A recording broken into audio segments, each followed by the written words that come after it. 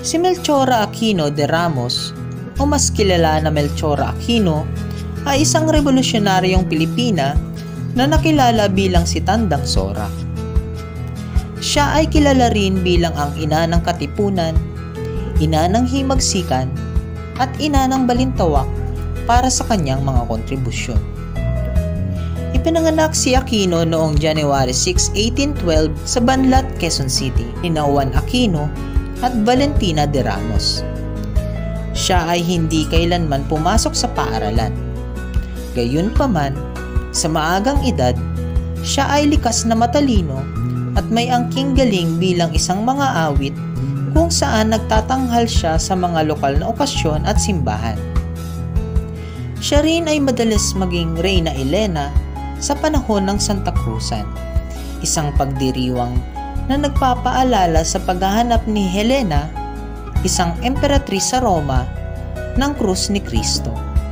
Ito ay tinawag na Flores de Mayo na kasalukuyan ay pinagdiriwang sa Pilipinas tuwing buwan ng Mayo. Nang maglaon, pinakasalan niya si Fulgencio Ramos, isang kabesa de barrio, at nagkaroon ng anim na anak. Namatay si Ramos at naiwan siyang mag-isang nagtaguyod para sa kanilang mga anak.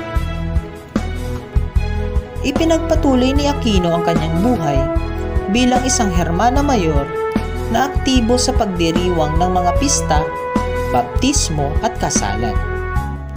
Nagtrabaho siya ng gusto upang mabigyan ng edukasyon ang kanyang mga anak. Sa panahon ng revolusyon, siya ang nagsilbing kanlungan para sa mga may sakit at sugatan ng mga manghihimagsik. Kinukop sila ni Aquino, pinakain, at pinabaunan ng konting salapi at pinapunta sa lugar na ligtas sa pag-uusig ng mga Kastila. Ang mga lihim na pagpupulong ng mga kateponero ay madalas ding ginaganap sa kanyang bahay. Tinawag siyang tandang sora ng mga revolusyonaryo at dito ay nakuha niya ang bansag na ina ng katipunan, ina ng himagsikan, at ina ng balintawak. Siya at ang kanyang anak na si Juan Ramon ay naroon maganap ang sigaw sa Pugad Lawin at naging saksi sa pagpunit ng mga sedula.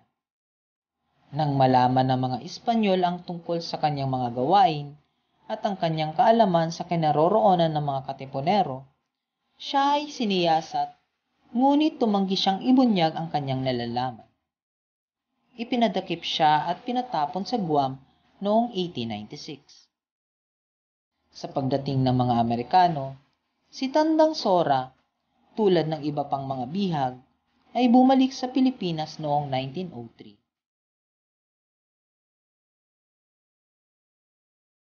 At maganap ang February 19, 1919, ay namatay si Melchora Aquino sa edad na 107.